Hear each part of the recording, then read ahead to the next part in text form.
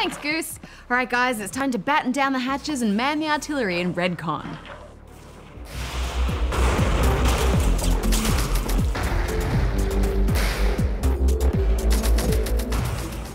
Redcon is a strategy game by indie developer Hexage. You play as a strike commander tasked by the Fuhrer of the Empire State to lead the fight against the traitorous General Krantz.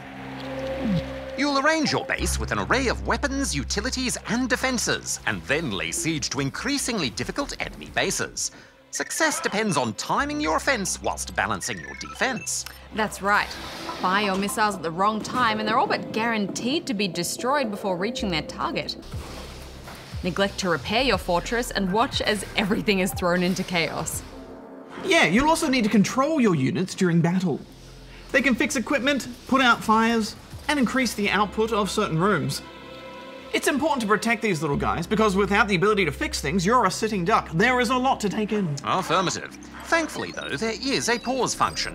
This lets you take your time and consider everything before issuing your commands and seeing them play out. It's like an artillery version of FTL. Yes, however, I felt this was less refined. One of the things that makes FTL great is that it's really easy to play but super hard to master.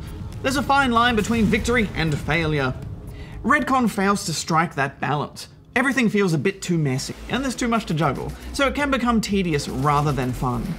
I don't really want to continually pause just to move soldiers back and forth between rooms. Yeah, I know what you mean. Plus, there were some frustrating difficulty spikes. For the first few missions, I could win without really trying. And then all of a sudden, I was stuck for ages. But I didn't know what I was doing wrong or what I needed to do differently. I didn't feel like I was learning to play the game, but rather just guessing. Affirmative. This is partly caused by the game not explaining the mechanics clearly. For example, there's no explanation as to how the fortress layouts work. You can't put certain weapons on top of each other, but you're never told why. I'm sure there's a very logical explanation, but the game never offers it. Yeah, that really bugged me, especially when I bought a gun specifically to use and then to find it didn't fit. And initially, it wasn't clear what the win criteria were. Sometimes I'd think I destroyed everything, but the battle would keep on going. It took me a while to figure out that structural damage is much more important than destroying rooms. I just wish it had been a bit more obvious. Mm. Well, eventually I did start to figure things out and get into a good rhythm, and I enjoyed myself. Spawnling should note that the mobile versions of this game are rated higher than the PC version, so you might want to check with your grown-ups if it's okay for you to play this game before getting it. Uh, but final scores, guys? Well, I think if you're willing to spend a considerable amount of time learning to play this game, then you'll have a pretty good time. But I just found it a bit tedious, so I'm going to give it 3 out of 5 rubber chickens.